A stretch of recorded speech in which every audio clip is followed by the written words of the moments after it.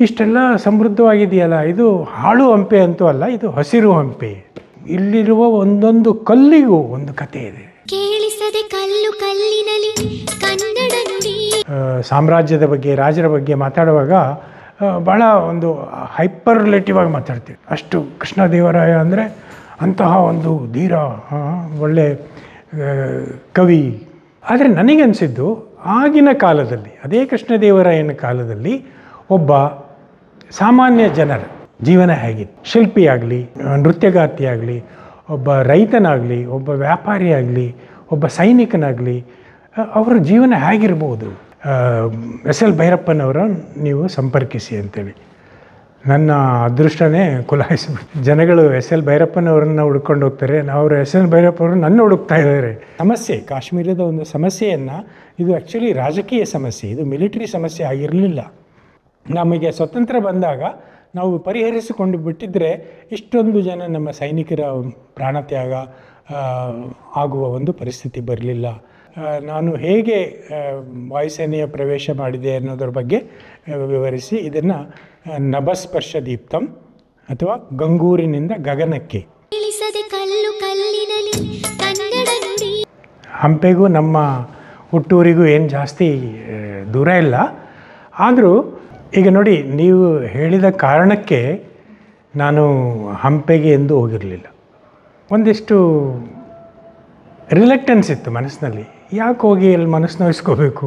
ಮೊದಲೇ ಹೇಳ್ತಿದ್ದಾರೆ ಹಾಳು ಹಂಪೆ ಹಾಳು ಹಂಪೆ ಅಂತೇಳಿ. ನಾವು ಒಂದು ಪುಸ್ತಕ ಪ್ರೇಮಿಗಳ ಕುಟುಂಬದಿಂದ ಬಂದವರು. ಬರೆಯೋ ಒಂದು ಹವ್ಯಾಸ ಮೊದಲಿನಿಂದನೂ ಇತ್ತು. ಆದರೆ ವಾಯುಸೇನೆಗೆ ಸೇರಿದ ನಂತರ ಒಂದಿಷ್ಟು ಟೆಕ್ನಿಕಲ್ ವಿಷಯಗಳ ಬಗ್ಗೆ ಬರಿತಾ ಇದ್ದೆ. ಫ್ಲೈಟ್ ಸೇಫ್ಟಿ ಅದೆಲ್ಲ.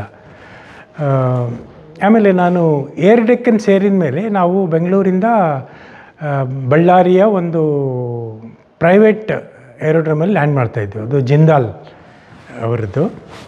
ಸೊ ಅಲ್ಲಿ ಒಂದು, ಒಂದೂವರೆ ಗಂಟೆ ಹಾಲ್ಟ್ ಇರೋದು. ಕೆಲವು ಸರಿ ಹೇಳೋರು ಹೋಗಿ ಬ ನೀವು ಹೋಗಿ ಬರೋದಾದರೆ ನೋ, ಹಂಪೆ ನೋಡ್ಕೊಂಬನ್ನಿ ಅಂತೇಳಿ. ಆದರೆ ಆವಾಗಲೂ ನಾನು ಹೋಗಲಿಲ್ಲ. ಆದರೆ ಒಂದು ಸರಿ ಏನಾಯಿತು ಅಂದರೆ ಸುಮ್ಮನೆ ಹೋಗಿ ನೋಡ್ಕೊಂಬರೋಣ. ಏನದು, ಏನು ಎರಡು ದಿವಸ ಇರುತ್ತಾನೆ ನೋಡ್ಕೊಂಬರೋಣ ಅಂಥೇಳಿ ನಾವು ಟ್ರೈನಲ್ಲಿ ಹೋದ್ವಿ. ಬೆಳಗ್ಗಿನ ಜಾವ ಹೊಸಪೇಟೆ ರೈಲ್ವೆ ಸ್ಟೇಷನ್ನಲ್ಲಿ ಇಳಿದು ರೆಸಾರ್ಟ್ ನಾವು ಮುಟ್ಟವಷ್ಟೊತ್ತಿಗೆ ನನಗೆ ಅನ್ನಿಸ್ತು, ಎಲ್ಲಿ ಎಲ್ಲ ಎಲ್ಲ ಕಡೆ ನೋಡಿದರೂ ಹಸಿರಾಗಿದೆಯಲ್ಲ. ನೀರಿನ ಜುಳು ಜುಳು ಏನೋ ಕಾಲುವೆಗಳು, ತುಂಗಭದ್ರಾ ನದಿ ಇಷ್ಟೆಲ್ಲ ಸಮೃದ್ಧವಾಗಿದೆಯಲ್ಲ, ಇದು ಹಾಳು ಹಂಪೆ ಅಂತೂ ಅಲ್ಲ, ಇದು ಹಸಿರು ಹಂಪೆ ಅಂಥೇಳಿ ಮೊಟ್ಟ ಮೊದಲಿಗೆ ನನಗೆ ಟೈಟಲ್ ಮನಸ್ಸಿಗೆ ಬಂದಿತ್ತು. ಟೈಟಲ್ ಅಂತಲ್ಲ ಸುಮ್ಮನೆ ನಾವು ಮಾತಾಡ್ಕೊಳ್ತೀವಿ ಇದು ಎಲ್ಲೇ ಹಾಳು ಹಂಪೆ, ಎಲ್ಲ ಕಡೆನೂ ಹಸಿರು ಇದೆಯಲ್ಲ ಅಂಥೇಳಿ ಆಮೇಲೆ ನಿಧಾನಕ್ಕೆ ನಾವು ಸುತ್ತಕ್ಕೆ ಶುರು ಮಾಡಿದ್ವಿ. ಆವಾಗ ಅನ್ನಿಸ್ತು, ಇಲ್ಲಿರುವ ಒಂದೊಂದು ಕಲ್ಲಿಗೂ ಒಂದು ಕತೆ ಇದೆ. ಆ ಕತೆ ಕೇಳಬೇಕು. ನಿಮಗೆ ಗೊತ್ತಿರೋ ಹಾಗೆ ಹಂಪೆನಲ್ಲಿ ಜಾಸ್ತಿ ತಿರುಗಾಡೋಕ್ಕಾಗಲ್ಲ.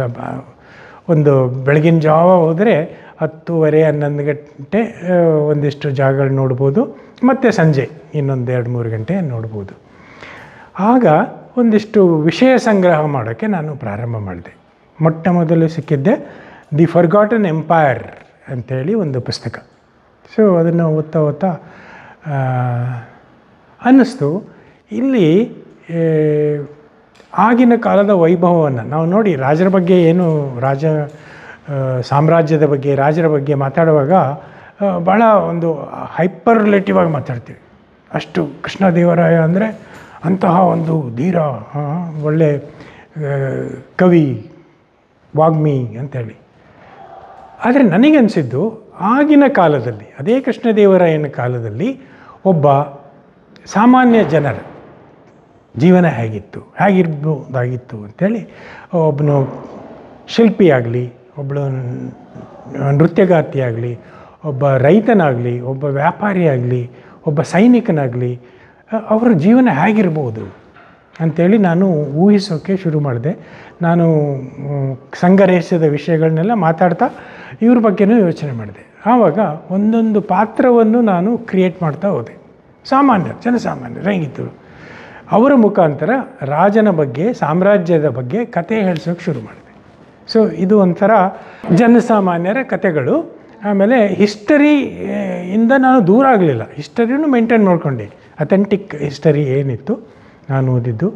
ಆಮೇಲೆ ಈ ವಿಷಯ ಸಂಗ್ರಹ ಮಾಡ್ತಾ ಮಾಡ್ತಾ ನನಗೆ ನಿಜವಾಗ್ಲೂ ಇದರಲ್ಲಿ ಬಹಳ ಹೇಳೋದಿದೆ. ಆದರೆ ಅದನ್ನು ಭಾಳ ಸಿಂಪಲ್ಲಾಗಿ ಹೇಳಬೇಕು. ಯಾಕಂದರೆ ನಾನು ಸೀರಿಯಸ್ ಚರಿತ್ರಕಾರನಲ್ಲ.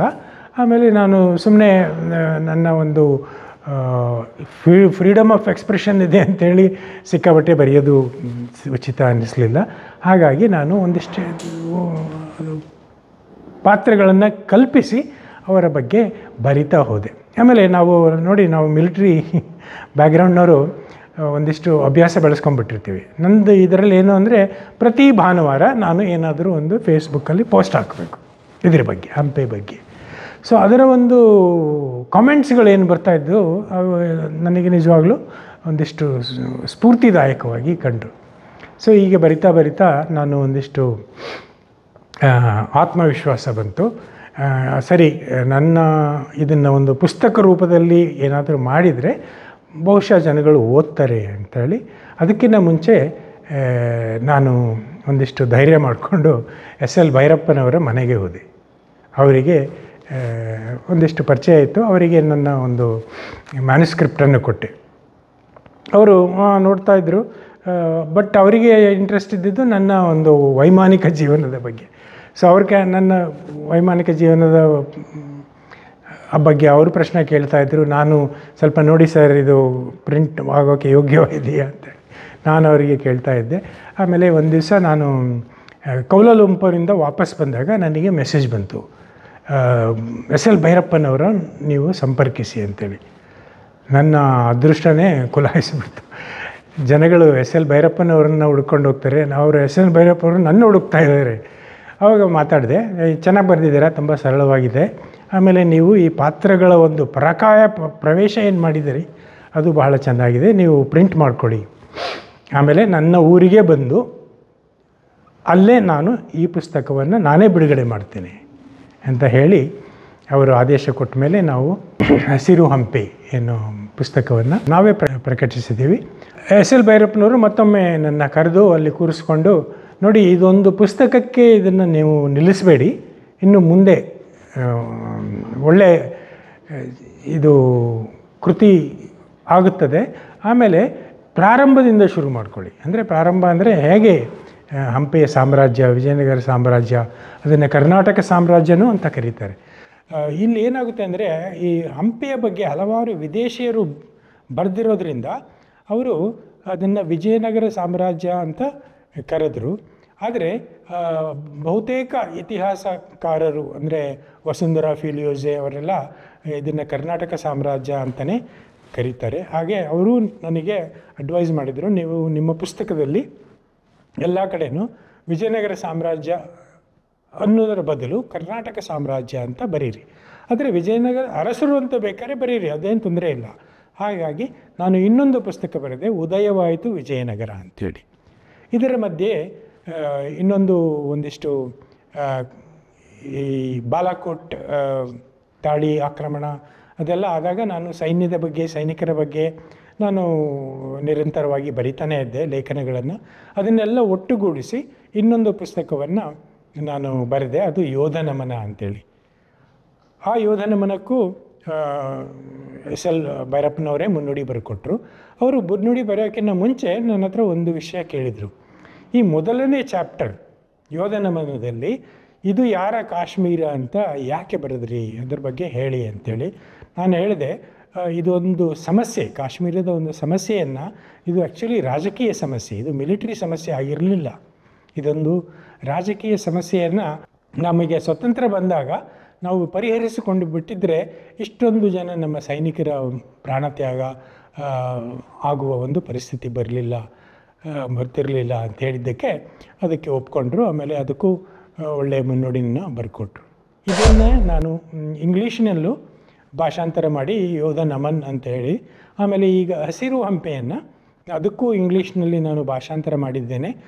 ಎವರ್ಗ್ರೀನ್ ಹಂಪೆ ಅಂತೇಳಿ ಅದನ್ನು ಸುಬ್ಬು ಪಬ್ಲಿಕೇಶನ್ ಅವರು ಹುಬ್ಬಳ್ಳಿ ಬೇಸ್ಡ್ ಪಬ್ಲಿಕೇಶನ್ಸ್ ಸಂಸ್ಥೆ, ಅವರು ಎಸ್ ಎಲ್ ಭೈರಪ್ಪನವರ ಇಂಗ್ಲೀಷಿಗೆ ಭಾಷಾಂತರಗೊಂಡ ಎಲ್ಲ ಪುಸ್ತಕಗಳನ್ನ ಅವರೇ ಪ್ರಕಟಿಸ್ತಿದ್ದಾರೆ. ಅದನ್ನು ಸದ್ಯದಲ್ಲೇ ನಾವು ಕೊಯಂಬತ್ತೂರಿನಲ್ಲಿ west western ghat literature festival ಅನ್ನೋ ಒಂದು ಸಂದರ್ಭದಲ್ಲಿ ನಾವು ಬಿಡುಗಡೆ ಮಾಡಿಸ್ತೇವೆ ಅಂತ ಹೇಳಿ ಆಶ್ವಾಸನೆ ಕೊಟ್ಟಿದ್ದಾರೆ. ಹಾಗಾಗಿ ಇದು ನನ್ನ ಆರನೇ ಪುಸ್ತಕ ಆಗುತ್ತೆ. ಈ ಮಧ್ಯ ನನ್ನದೇ ಒಂದು ಆತ್ಮಕಥೆ ನಾನು ಗಂಗೂರು ಅನ್ನೋ ಒಂದು ಹಳ್ಳಿಯಿಂದ ಬಂದವನು. ಅಲ್ಲಿಂದ ನಾನು ಹೇಗೆ ವಾಯುಸೇನೆಯ ಪ್ರವೇಶ ಮಾಡಿದೆ ಅನ್ನೋದ್ರ ಬಗ್ಗೆ ವಿವರಿಸಿ ಇದನ್ನು ನಭಸ್ಪರ್ಶ ದೀಪ್ತಂ ಅಥವಾ ಗಂಗೂರಿನಿಂದ ಗಗನಕ್ಕೆ ಅನ್ನೋ ಒಂದು ಪುಸ್ತಕವನ್ನು ಬರೆದಿದ್ದೇನೆ. ಅದನ್ನು ನೀವು ಓದಬಹುದು. ಪ್ರಿಯ ವೀಕ್ಷಕರೇ, ನಾವು ತೋರಿಸುತ್ತಿರುವ ಇತಿಹಾಸದ ಕಥೆಗಳು, ಕನ್ನಡದ ಕಲೆ, ಸಾಹಿತ್ಯ, ಸಂಸ್ಕೃತಿ, ಜನಜೀವನ, ಇತಿಹಾಸ ಸೃಷ್ಟಿಸಿದ ಜನಸಾಮಾನ್ಯರ ಅಸಾಮಾನ್ಯ ಕಥೆಗಳು ನಿಮಗೆ ಇಷ್ಟ ಆಗಿದ್ಯಾ? ಹಾಗಿದ್ರೆ ವಿಡಿಯೋ ನೋಡಿ ಸುಮ್ಮನಾಗ್ಬೇಡಿ. ಶೇರ್ ಮಾಡಿ, ಸಪೋರ್ಟ್ ಮಾಡಿ. ನಮ್ಮೊಂದಿಗೆ ಜೊತೆಯಾಗಿ. ಇದು ನೀವೇ ಬೆಳೆಸಿದ ನಿಮ್ಮ ನೆಚ್ಚಿನ ಡಿಜಿಟಲ್ ಮಾಧ್ಯಮ. ಇನ್ಮುಂದೆ ನಿಮಗಾಗಿ ಇನ್ನಷ್ಟು ವಿನೂತನ ಶೈಲಿಯಲ್ಲಿ ಬರಲಿದೆ. ನೈತಿಕ ಬೆಂಬಲದ ಜೊತೆಗೆ ಆರ್ಥಿಕ ಬೆಂಬಲ ನೀಡಿ. ನಿಮ್ಮ ಬೆಂಬಲವೇ ನಮಗೆ ಪ್ರೇರಣೆ, ಸ್ಫೂರ್ತಿ ಕೂಡ ನಿಮ್ಮ ಬೆಂಬಲದೊಂದಿಗೆ ನಮ್ಮ ಪಯಣ ಮುಂದುವರಿಯುತ್ತಿದೆ. ಸಾಮಾಜಿಕ ಬದಲಾವಣೆಗೆ ಜೊತೆಯಾಗಿ ನಮ್ಮ ಮುಂದಿನ ಪೀಳಿಗೆಗೆ ಕರ್ನಾಟಕದ ಇತಿಹಾಸ ಉಳಿಸೋಣ.